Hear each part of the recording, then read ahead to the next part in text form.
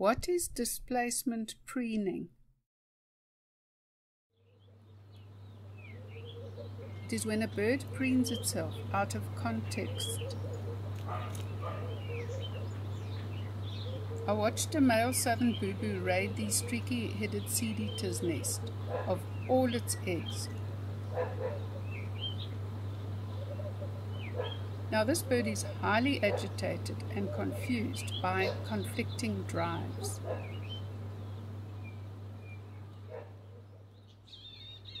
It is so confused and it's not sure how to react, so it takes to frantic preening. And note how jumpy it is.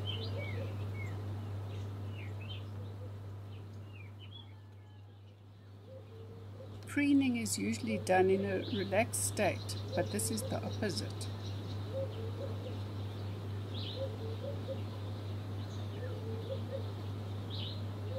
Seed eater is displacement preening near to its newly raided nest.